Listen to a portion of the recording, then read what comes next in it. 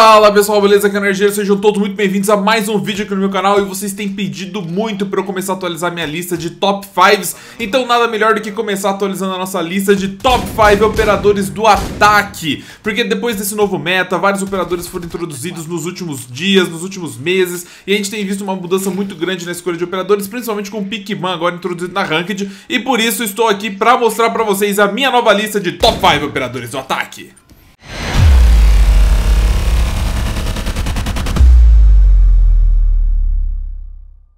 Então vamos começar com o Maverick, que é um operador novo, né? Foi lançado esse, no final do ano passado e a gente sabe que ele tem várias coisas interessantes que ele traz de novo pro jogo. Em primeiro lugar, ele é o terceiro Hard Breacher que nós temos à nossa disposição. Já tinha Termite e Tibana, cada um tinha uma habilidade diferente, uma forma diferente para jogar, igual eu coloquei no meu uh, Termite versus Ibana pra gente comparar. Mas o Maverick eu gosto de chamar ele de mil e uma utilidades. Em primeiro lugar, vocês viram que no começo desse vídeo eu consegui quebrar um Yokai usando o Maverick. Eu consegui, eu dronei Victim Yokai lá no caminho de rato, fiz um furo na parede quebrei o yokai. Então, olha só que coisa interessante, que com nenhum outro operador ia conseguir fazer isso com agilidade. Porque assim que eu coloco a Ibana no Termite, e o, o yokai poderia ir embora dali, eu ia ficar muito exposto porque o adversário ia conseguir me dar bala fácil, eu ia ter que... Então, com o Maverick foi a opção perfeita para conseguir quebrar aquele yokai. Segundo, a arma dele é muito, muito útil e é confiável demais, porque ela tem um recuo fácil de controlar, vocês estão vendo utilizar o holográfico, eu consegui pegar um spawn pick e eu vou conseguir pegar mais duas ou três kills ainda nesse round aqui, e é muito legal isso porque eu consigo utilizar holográfica sem ter que me atrapalhar com aquela cog enorme, aquele ponto cego gigante que ela traz.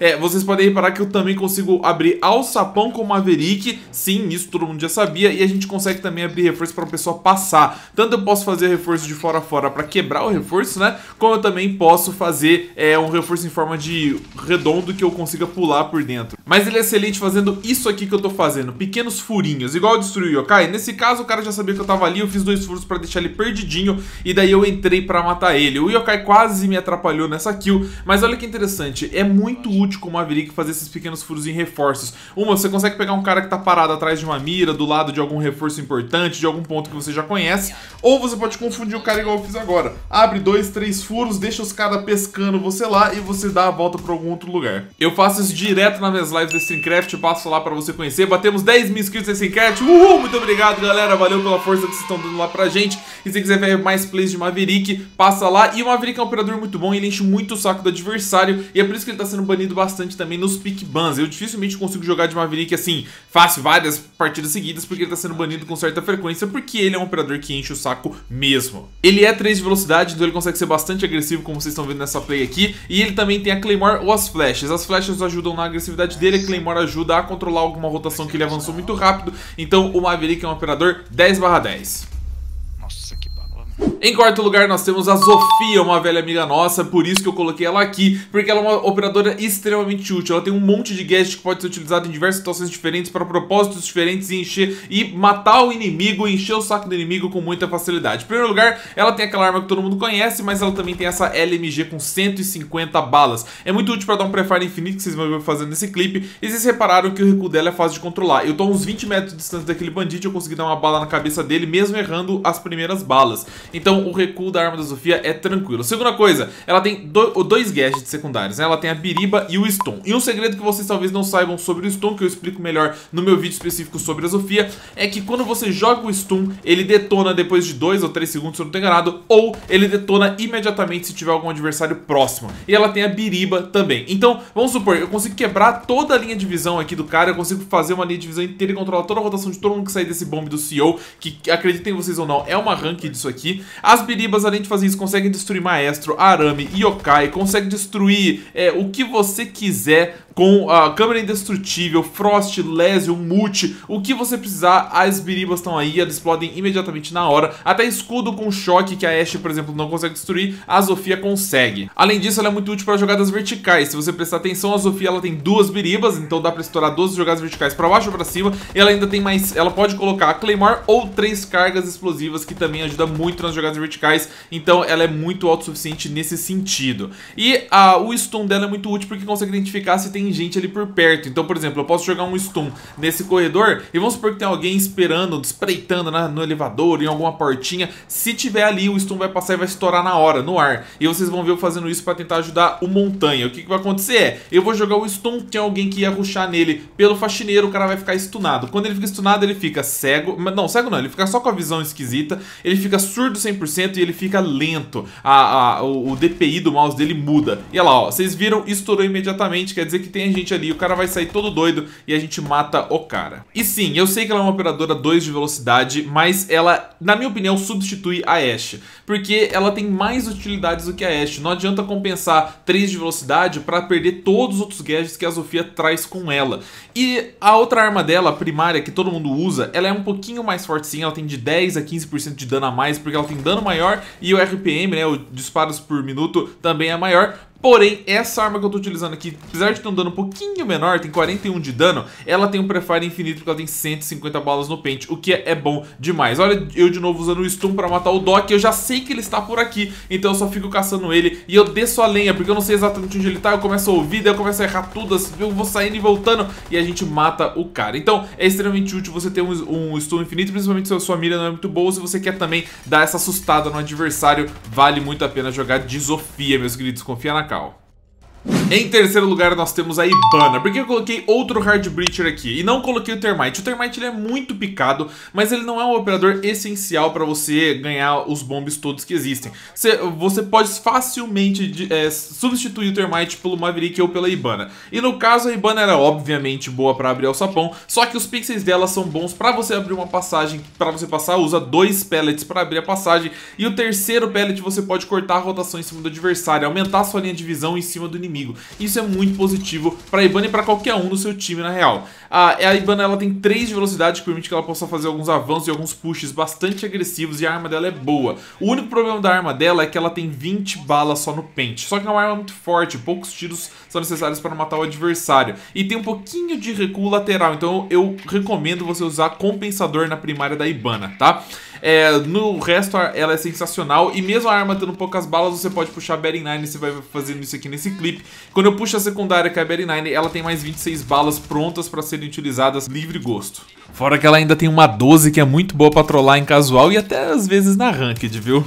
Muito bem, mas ela ainda continua eh, usando os pellets dela e aqui que eu vou mostrar pra vocês o uso do pellet com os stuns. Olha como o flash da Ibana é útil. Em primeiro lugar, o pellet consegue cortar a rotação dos caras, deixar o adversário incomodado demais é, e você vai conseguir ter muito mais chance de abrir espaços dentro do bombe, porque muitas vezes o âncora tá parado lá dentro de um canto que você não consegue pegar o cara. Então você vai ter que usar os seus pellets pra tirar, deslocar aquele maestro, aquela mira, aquele cara chato do lugar. E nesse caso eu uso o stun, consigo pegar o Lesion, deitando a Zofia no processo, mas veja, o stun foi muito útil para eu fazer esse push e a Betting 9 também. Então eu consegui utilizar ambas as armas da Ibana a meu favor. E existem vários inúmeros outros bombs em que você consegue abrir tanto um pixel para passar de pé, quanto esse para passar baixado. Dá para você abaixar, passar deitado com um único pixel só. Olha legal, a Zofia entrando junto comigo. Ela stunou o Moze e eu fui e matei o cara. Olha que jogada team play perfeita. E daí você pode usar em vários outros bombs o pellet da Ibana, dois ou três, para cortar a rotação simplesmente, não precisa nem entrar. Só desloca o adversário e deixa ele 100% é, desconfortável dentro daquele bombe, onde ele não vai conseguir parar em um posicionamento bom e vai ser obrigado a morrer nas trocações que você e o seu time for colocar em prática. E vocês já estão vendo aqui na tela que o meu segundo lugar é a Nomad, que é um lançamento fresquinho que veio aqui com a gente esse ano.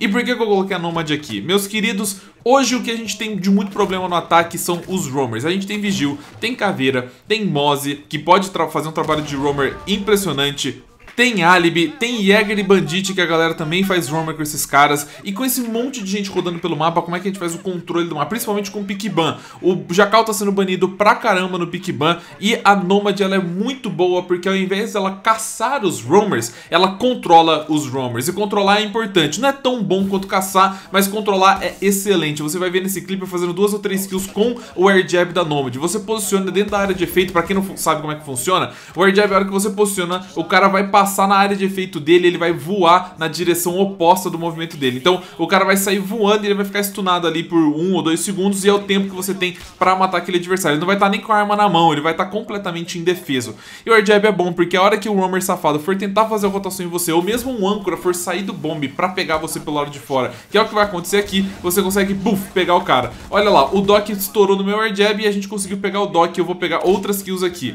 Eu já coloquei outro air jab ali no, no Termite, porque, né, vai que algum outro safado tenta correr em cima da gente, a gente já dá bala no cara. E falando de dar bala, as a Nomad também tem duas armas muito boas. Em primeiro lugar, essa que eu tô utilizando, ela tem um dano muito alto, se não tenho é 47 de dano, mais o RPM de 700 e pouco, que é muito forte.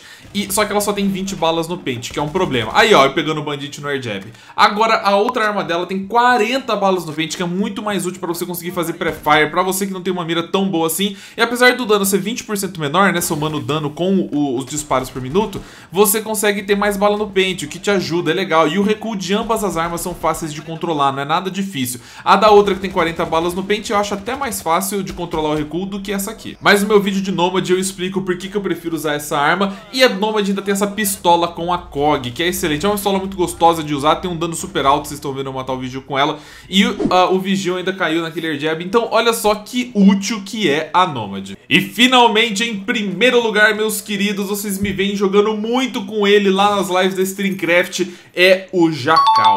Por que, que eu gosto tanto do Jacal? Porque ele é um caça-roamers extremamente efetivo em todas as situações. Em primeiro lugar, ele consegue dizer se um roamer passou por ali ou não, pra você já ficar atento. Você liga o visor dele e você consegue ver os passos do adversário. Em segundo lugar, ele tem uma 12, que tem uma, um poder de destruição muito bom pra você fazer jogada vertical. Nem que seja só um pixelzinho simples, só pra você marcar uma escada, alguma coisa, a 12 dele funciona. Ele tem duas smokes que ajudam na hora de você fazer o plant. E ele tem provavelmente uma das armas mais fortes do jogo, que é a C 7E. Olha, eu já sei que tem gente aqui na cozinha, apesar da galera ter tornado pra mim. E o, o, o mais interessante do Jacal é o seguinte, quando você consegue pingar o adversário, o adversário fica desesperado. A maioria das pessoas não consegue é, manter a calma a hora que tá sendo pingado pelo Jacal. Porque ele vai ser pingado a cada 5 segundos e o cara vai saber, o Jacal vai saber aonde que tá o adversário, pra onde que ele tá correndo, se ele vai é, rotacionar em você, se ele voltou pro bombe ou não. E isso é muito chato pra defesa. E hoje a gente tem um monte de roamer rodando o mapa e como eu falei pra você, a Nomad é boa pra controlar o roamer que vai avançar em você você, só que o Jacal é excelente pra fazer esse roamer perder tempo,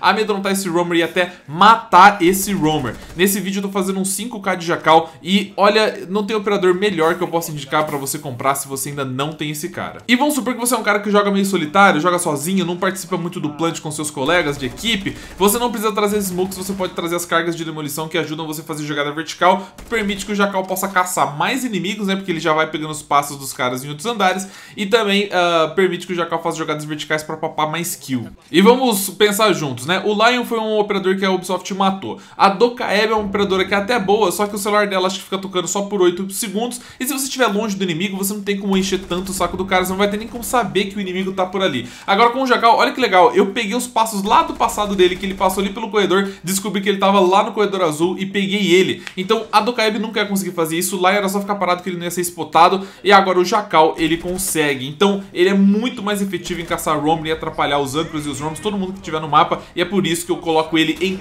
primeiro lugar na nossa lista de top 5. E estes são os 5 melhores operadores que existem no ataque hoje, principalmente para você fraguear ou mesmo para você fazer um trabalho de intermediário com a sua equipe. Se você gostou desse vídeo, meu querido, coloca o seu like aí, dá o HS no like, se inscreve aqui no canal porque a gente põe 3 vídeos novos por semana, pelo menos 3 vídeos novos de Rainbow Six Siege. E também fala aí nos comentários quais são os próximos top 5 que você quer que eu continue fazendo e refazendo no meu canal. Pode ser um top 5 novo que eu ainda nunca fiz, pode ser atualizar um top 5 que eu já tenha feito anteriormente. Muito obrigado pela presença de cada um de vocês, fiquem com Deus no dia e a gente se vê, é claro, no Rainbow Six Siege.